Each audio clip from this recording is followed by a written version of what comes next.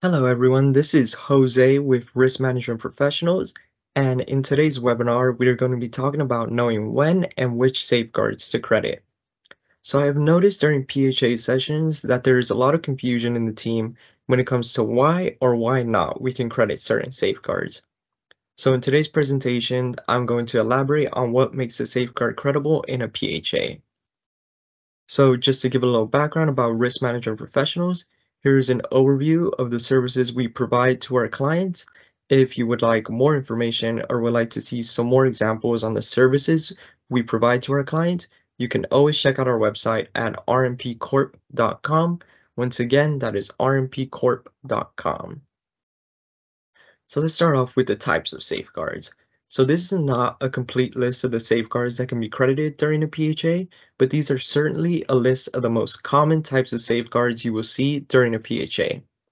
So starting off with alarms, these would usually be the safeguards that you see the, that you see the most during the PHA as they are commonly used in all industries such as oil and gas, ammonia refrigeration, etc., etc. So you might see a low flow alarm on the discharge of your pumps to alert your operators to prevent a cavitation or deadhead scenario on your pumps. Moving on to interlocks, you might also see a low pressure switch that trips your furnace off by closing your fuel, fuel gas supply valve to prevent flame out in your firebox. Pressure relief valves are commonly used on vessels where there are overpressure concerns, if your vessel begins to overpressure, your pressure relief valve will hopefully go open and prevent any catastrophic rupture of your vessel. Administrative controls are a bit more generic, but these would involve any operating procedures or operator rounds for your specific scenarios or specific hazards. Alarms. So alarms will probably will probably be the main safeguards you see during the PHA. Whether it be a low flow or low level alarm, these are commonly used in every industry. You want to avoid crediting too many alarms for the same scenario. There's no real reason to have 10 alarms credited for the same scenario, even though you may actually have 10 alarms for that specific scenario. The best practice is to credit the alarms that you will see first or that your operators will be able to respond to first. It is also important to only credit alarms that your operators will have enough time to respond to. Best practice is to credit alarms in which your field operators will have 20 minutes or more to respond to the alarm. And for your board operators, you will want 10 or more minutes for them to be able to respond to that alarm in time so that the issue can be fixed from the board. Interlocks. So these interlocks are automatic systems that will close slash open valves and override your system depending on the hazard. You want to avoid crediting interlocks that are tied into the failure point. If your flow control valve failed close, you don't want to rely on the transmitter tied into that valve to swing that valve open as the cause of failure may be due to that transmitter, transmitter misreading. The main thing is to make sure that the interlock is reliable. You do not want to end up in a scenario where your operators believe something will trip and then it does not trip. This could end with an injury or possibly worse to your personnel. Moving on to pressure safety valves. Pressure safety valves protect the process and people from overpressurization. These valves will fly open upon reaching the set point pressure. It is important to make sure that your PSVs are sized appropriately. You do not want to end up in a scenario where the PSV does not work because it was not sized accordingly. This could create a false sense of security for your operators and make them feel protected when really they're not, and this could result in a major injury. Another thing to note is to conduct proper inspections regularly and that the PSVs are maintained accordingly so that these PSVs can be credited in a PHA confidently.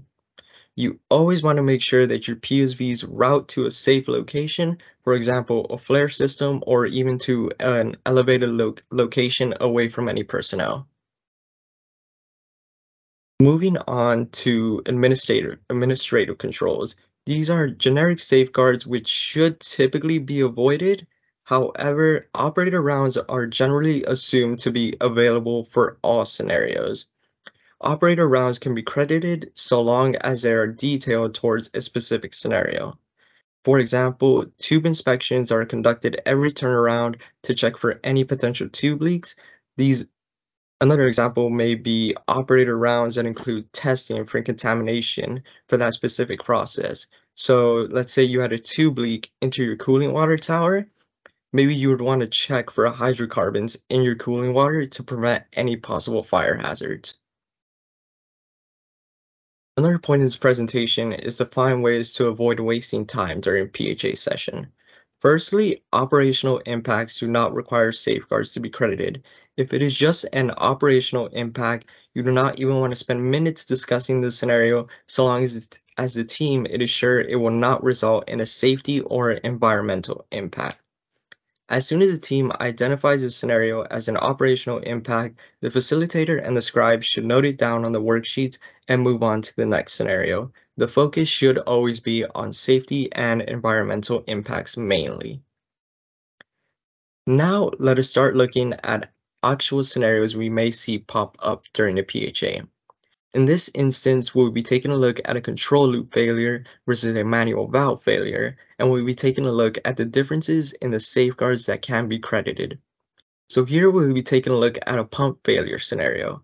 We're going to focus on three specific scenarios. The manual valve on suction to the pump shown in the leftmost red arrow, the manual valve on the discharge of the pump, and the flow control valve on the discharge of the pump shown by the red arrow at the top of the slide. For these scenarios, we are going to assume that the manual valves inadvertently close, and we are going to assume that the flow control valve failed to close due to the flow transmitter, transmitter misreading, which can be seen on the right side of this slide. We are also going to assume that the flammable hydrocarbons are flowing through this pump. So how would these scenarios look written on a PHA worksheet? In an actual PHA, the PHA worksheets should be a, li a little more detailed than this in that they should contain P&IDs, equipment names, and equipment tags, but this will at least give us a good idea as to what the scenario might look like. So firstly, we're going to focus on the manual valve on a suction to the pump inadvertently close. So that is cause 1.1.1 on the worksheet there. If the manual valve inadvertently closed, then the scenario we would see with no safeguards is a potential loss of suction to pump leading to cavitation, seal failure, and release of flammable material. This will lead to a potential flash fire resulting in, in a personnel injury. So in this theoretical scenario, we're going to say that the team ranked this as a B, which would be a permanent disabling injury to personnel. Now for our safeguards. For this scenario, for this scenario, one of our safeguards might be dual seal alarms, which are configured to alert operations upon failure of the primary seal for the pump. And that our and our second safeguard is that our flow transmitter is configured to alert operations upon low flow from the pump. So with these safeguards, the team ranked the likelihood of this scenario to be a 4, which would be highly unlikely. If we take a look at our risk matrix down below, we will see that severity of a B and a likelihood of 4 would give a risk ranking of 4, which can be seen in blue there. This would mean that we are safe currently as is. Now let's take a look at cause 1.1.2, where the manual valve on the discharge of the pump inadvertently closed. We will see that the scenario is the exact same other than now we are blocking the discharge of the pump and we are deadheading our pump rather than cavitating it but the risk ranking remains the exact same. So let's move on to the next scenario, which will be cause 1.1.3, where the flow control valve malfunction closed on the discharge of the pump. So as we can see, the consequence remains the exact same, but now we cannot credit our flow transmitter safeguard as this is the cause of failure. We cannot rely on this alarm to protect us as it may not be functioning as intended when we need it most. So as we can see, the team felt that without the safeguard, the likelihood of this happening went up to a three. So they felt it was more, it was slightly more likely to happen. So the risk rank, the overall risk ranking also went up to a three because of this. Now, this does not necessarily mean that without the safeguard, the likelihood of the scenario has to go up. If the team feels that with just the dual seal alarms, they feel safe enough to rank this with a likelihood of four, that is entirely credible to do so, so long as the rest of the team agrees. At the end of the day, it is up to the team to decide on whether or not they feel safe. That is why it is important to have PHAs to gather everyone's opinions and find gaps in their process. So next we will take a look at an overpressure scenario due to external fire. So as we can see from the image, the design pressure of the vessel is 100 psig. For PHAs, we always have to assume the worst possible scenario. So in this instance, we will assume that the vessel's pressure, that the vessel pressures up until it reaches 3.5 times MAWP. In other words, the pressure of this vessel which will reach 350 psig for this scenario. So now let us take a look at the safeguards we can credit from the scenario by first taking a look at the cause, which would be external fire near gas vessel. So the consequence for this scenario would be potential for flame impingement and overpressure up to 3.5 times MAWP of your gas vessel. This would lead to a potential fire resulting in, in personnel fatality with a severity of A, which would indicate a fatality. So for safeguards, we credited our PSV 104, which is designed to relieve to the flare system and is sized for external fire for your gas vessel. The team ranked this as a likelihood of 4 and overall a risk ranking of 3. What do we want to take away from this scenario? When crediting PSVs, we always want to make sure that your PSV is properly sized for that specific scenario, which in our case would be an external fire. So by the time the PHA is in session, hopefully calculations should have been done to verify that the PSV is sized for each specific scenario. If the PSV was not sized for external fire, then maybe a recommendation may have to be made to upgrade slash replace the PSV if need be. A PSV not being sized for each specific scenario does not always result in a recommendation to replace the PSV. We will talk about some of these exceptions in the next slide. So now we're going to talk about vessel overpressure due to blocked outlet. We'll be taking a look at HV 105 on the outlet of the gas vessel inadvertently closing in this scenario. So the design pressure will be assumed to be 100 psig as it was in the last scenario. So once again, we'll be taking a look at how the scenario would look like on an actual PHA worksheet. So I have copied over the external fire scenario to compare the differences between a blocked outlet scenario and an external fire scenario. So first let's take a look at cause 1.1.5 in which HCV 105 manual valve inadvertently closed. So the consequence for this would be potential block vapor outlet leading to overpressure of your gas vessel up to 2.0 times MAWP. So this will lead to a potential flange leak and a potential release of flammable material, which would kill it, which can then lead to a potential flash fire, resulting in a personal fatality, which would mean this would be risk ranked as an A. So next we would take a look at our safeguards credited, which in this instance, which it was PSV 104, which is designed to relieve to the flare system and is sized for external fire for gas vessel.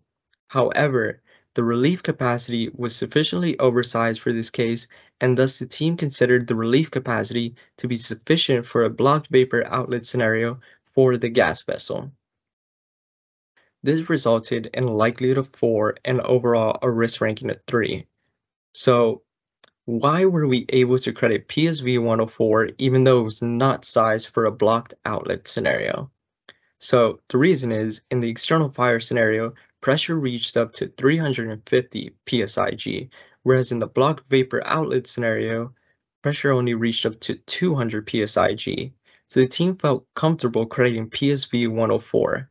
I would usually still try to push a team to make a recommendation to verify that the calculations from PSV 104 prove that it can protect the vessel from a blocked outlet scenario. However, it may not be necessary if the team feels safe without the recommendation.